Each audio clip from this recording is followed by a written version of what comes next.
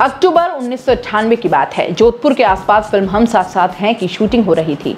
आरोप है कि एक्टर सलमान खान, सैफ अली खान, तब्बू, सोनाली बेंद्रे, नीलम और अन्य ने घोड़ा फार्म हाउस, भवाद और कांकणी गाँव में काले हिरण का शिकार किया। शिकार मामले में सलमान मुख्य आरोपी थे। उन्हें 20 साल जोधपुर कोर्ट के चक्कर भी काटने पड़े। आखिर में पाँच साल की जेल की सजा हुई। फ़िलहाल वह जमानत पर हैं। सलमान को छोड़कर बाकी आरोपी बरी हो गए और जोधपुर के कांकणी में जहाँ सलमान खान पर चिंकारा के शिकार का आरोप लगा, वहीं बिघा में हिरण स्मारक और रेस्क्यू सेंटर जल्द शुरू होगा। बॉलीवुड एक्टर सलमान खान ने जिस काले हिरण का शिकार किया, उसे चिंकारा की याद में जोधपुर में भव्य स्मारक बनने जा रहा है। काले हिरण का स्टैचू बनकर तैयार हो चुका है। ये यहाँ के कांकणी गाँव में बनाया जा रहा है। जल्द ही हिरण का स्टैचू कांकणी में स्थापित कर दिया जाएगा।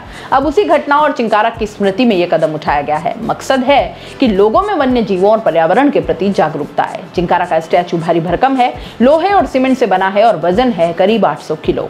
जोधपुर के सिवाची गेट निवासी मूर्तिकार शंकर ने इसे महज पंद्रह दिन में तैयार कर दिया। उससे भी उन्होंने ये हूबहू आकृति कैसे तैयार की? शंकर बताते हैं कि मैंने चिंकारा की हर एंगल से फ़ोटो जुटाई। फ़ोटो देखकर आँगन पर चौक से स्केच बनाया और फिर लोहे के सरियों को जोड़कर हिरण का पिंजर तैयार किया। पिंजर को प्लास्टिक कट्टों से बांधा और फिर उसके चारों ओर ढांचे में सीमेंट भर दिया। सीमेंट सूखने पर पानी की तराई की गई। हिरण की शेप देकर सीमेंट को पकाया और फिर फिनिशिंग का काम हुआ।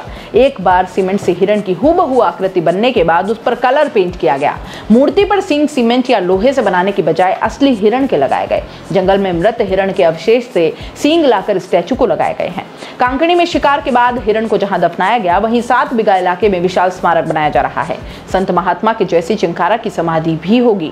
वन्य जीवों खासकर हिरणों के लिए एक रेस्क्यू सेंटर बनाया जाएगा, जहाँ बीमार हिरणों का इलाज और उनकी देखभाल की जाएगी। कांकड़ी निवासी वन्यजीव प्रेमी प्रेम सारण और बुधाराम के अनुसार मूर्ति तैयार है। एक दिन और लगेगा, फिनिशिंग में मारे गए हिरणों के सम्मान में स्मारक भी लगभग तैयार है। यह स्मारक स्थल कांकड़ी में है और यहीं पर चिंकारा को दफन भी किया गया था। अब यही स्मारक बनाकर इसे प्लेटफॉर्म पर चिंकारा का स्टैचू लगाएँगे। हिरण शिकार मामले में विष्णोई समाज ने लंबी लड़ाई लड़ी। समाज ने ही स्मारक के लिए ज़मीन दी। स्मारक का रूप देने के लिए समाज के 200 लोग भी जुटे। कांकणी युवा नाम से एक ग्रुप बनाया गया और कांकणी स्मारक विष्णोई समाज की परंपराओं की याद हमेशा दिलाता रहेगा। दोस्तों सीबीसी न्यूज़ आपके सहयोग से लगातार बढ़ता जा रहा है। स्वतंत्र पत्रकारिता का सहयोग करने के लिए आपका धन्यवाद।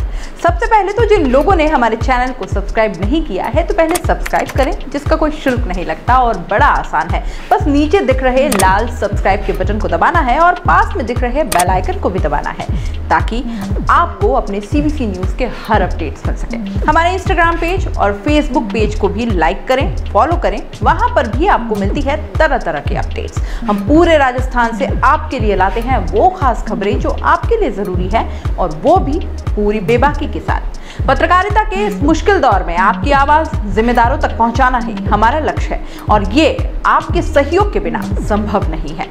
हमारा सहयोग करें, स्वतंत्र पत्रकारिता में अपना योगदान दें और ज्वाइन बटन पर जाकर सदस्यता लें, चाहे सबसे छोटी सहायता के रूप में ही क्यों ना हो।